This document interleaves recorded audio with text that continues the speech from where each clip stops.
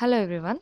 So the answer to this question is that we use certain uh, units for the measurement so that we can